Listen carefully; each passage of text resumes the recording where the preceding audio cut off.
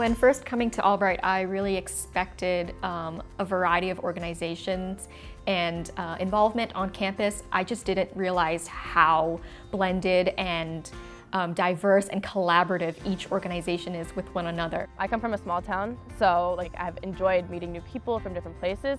I myself am Dominican, but I know people who are here from Japan. I know people who are here from Spain. And my now roommate, her parents are from Albania.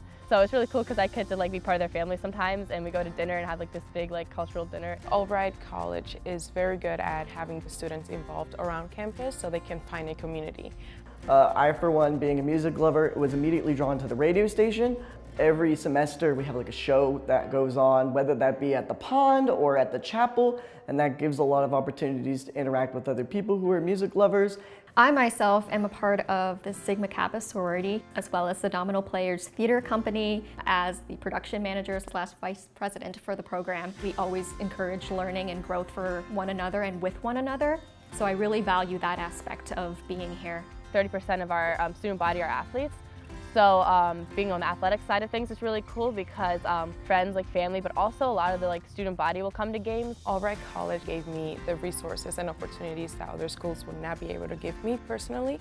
I am a double major, double minor. I was also able to work on campus, but also be part of organizations that turn into community.